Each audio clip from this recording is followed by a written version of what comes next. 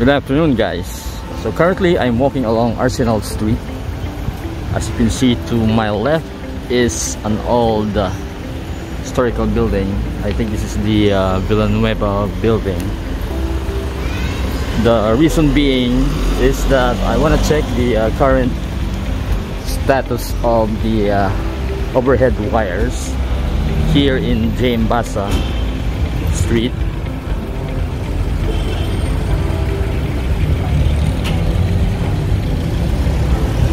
the reason for that is uh, you've got some good news a little bit of it that this area right here along J.M. Basa will uh, have to be uh, rehabilitated. So all the wires in the future will be gone.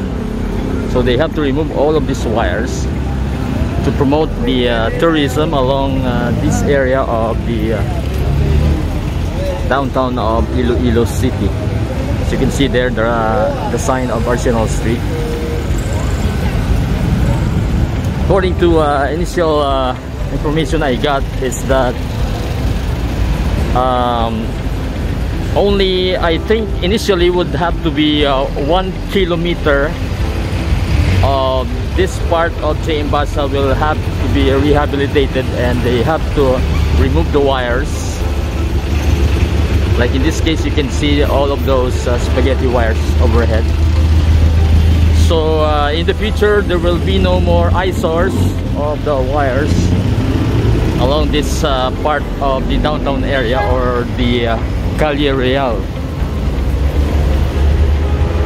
Initially they have thought of uh, I think the initial budget would have to be uh, almost 100 million as they say based on the report and it would take at least maybe uh, six months of work.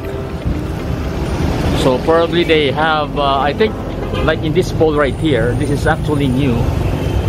So before it was uh, more of the uh, wooden type of poles so it is now in the cement form. So probably they are doing the rehab as of the moment.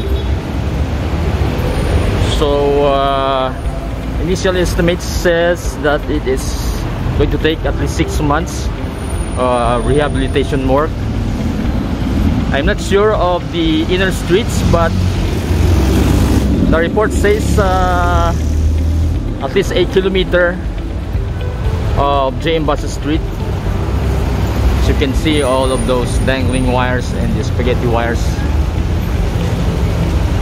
Across I can see that there are uh, a bit uh, organized. But on this side right here there are lots of them so uh, we'll see in the future. So hopefully we will have a, better view of the historical and the heritage buildings along J.M. Basa. And especially on the Aldeguer side which is the uh, another uh, I think the another Villanueva building used to be a hotel. And all the rest of the uh, historical buildings over there the Javellana building as well. To enhance the uh, tourist attractions here in Iloilo along the downtown area. So we'll just uh, do a short walk along this part of uh, Basa just to show you the uh, current status of the wires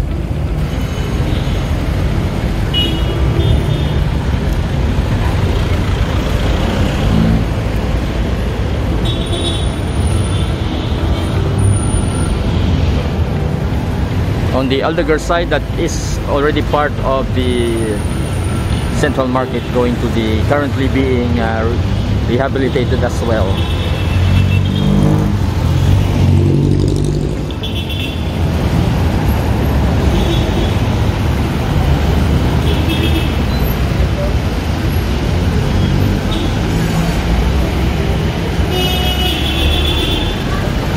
walk further we're gonna this uh, part of the Basa will lead to uh, Sunburst Park.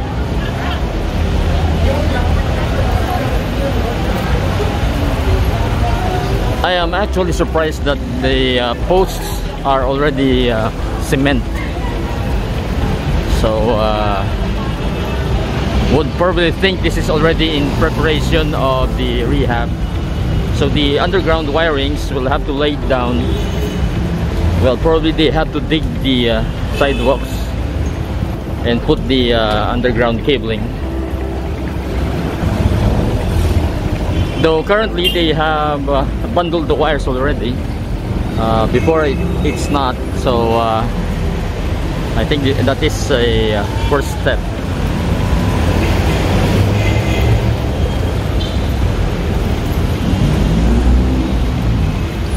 we have uh, a little bit of traffic at this time it's uh, just uh, I think around 3:30 p.m.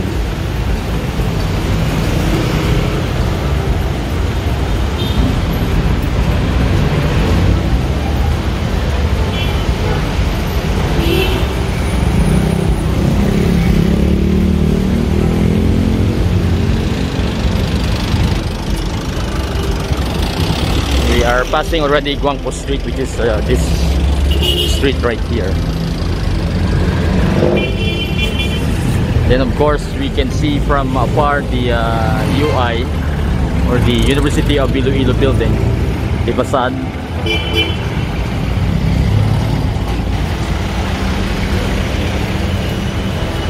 and then just across the uh, Eagle Theater is this one and then the currently named Regent Theater and then of course the famous Roberto's restaurant famous for the siopaw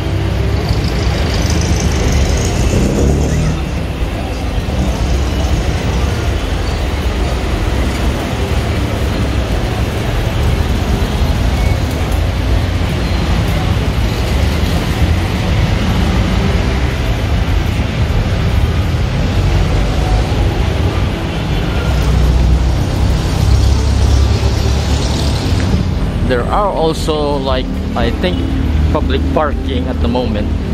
So I think it is a paid parking.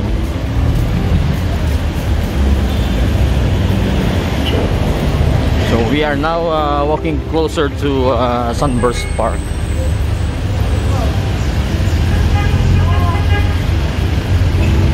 Part of which uh, being used on the Ironheart uh, TV series which they shot along this uh, area of the Sunburst Park. You can see there the Swag Iloilo sign.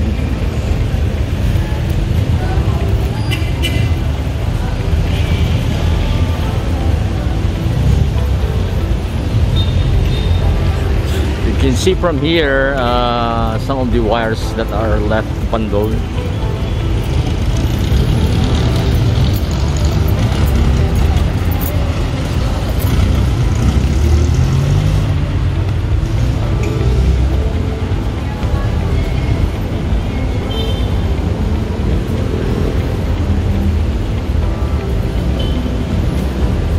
then we have the memorial of the uh, World War II heroes.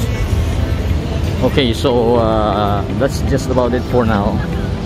We'll do some future updates regarding the uh, underground cabling here at the uh, downtown Iloilo area. Thank you for watching guys